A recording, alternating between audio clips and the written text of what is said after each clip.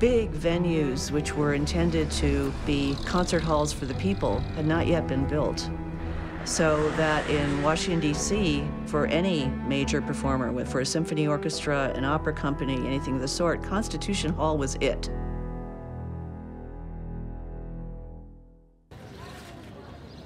Constitution Hall had been built in the late 1920s by the Daughters of the American Revolution to host their annual conventions.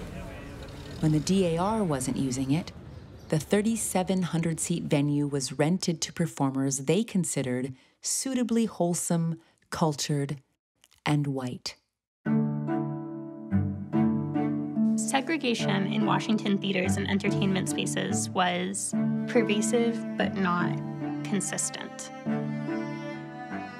There were a lot of halls that would allow black performers but not black audiences. And then there were some halls, like Constitution Hall, that would only allow white performers.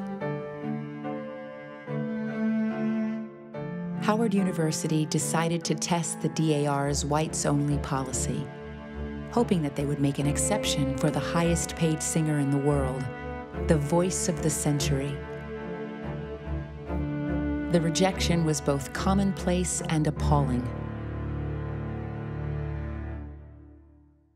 Even by the standards of Jim Crow, the insult to Anderson stood out.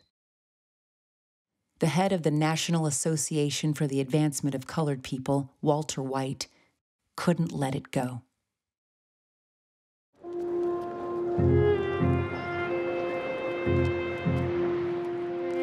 White had grown up in Atlanta defined by law and custom as colored, despite his blonde hair and blue eyes. But for White, any doubts about his own identity were burned away when he was 10 years old during the Atlanta massacre of 1906.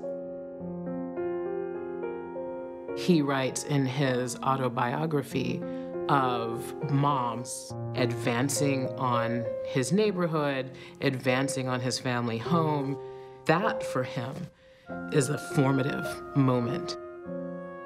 Walter White could have passed out of the travails and troubles of African Americanness if he chose to, but he didn't.